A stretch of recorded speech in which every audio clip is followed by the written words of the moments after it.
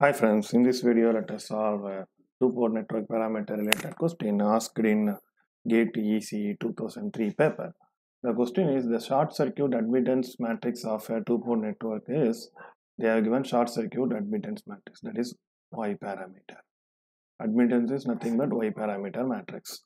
So that is given by 0 minus 1 by 2 plus 1 by 2 0 right so they are asking whether the network is non-reciprocal and passive non-reciprocal and active reciprocal and passive and reciprocal and active.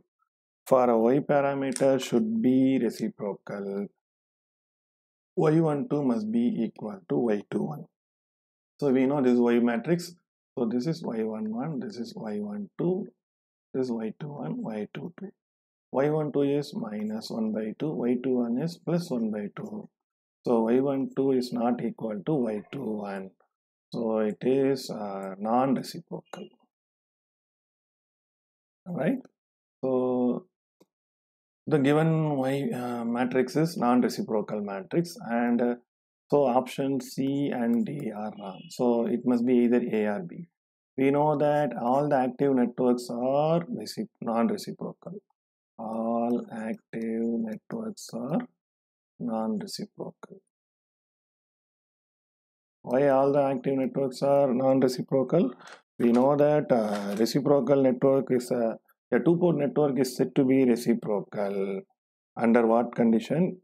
So i write here a two-port network is reciprocal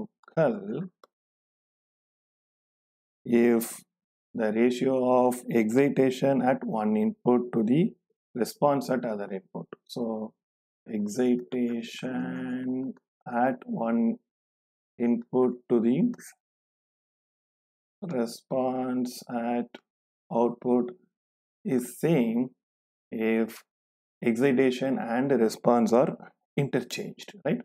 So if the condition is satisfied then only it is called reciprocal network. But in active network if you change the excitation at uh, from input to output the response will change. So all the active networks are non-reciprocal network whereas passive networks like uh, resistor capacitor inductor they respond same for both the directions so all the passive networks are reciprocal active networks are non-reciprocal. So option b is the right answer.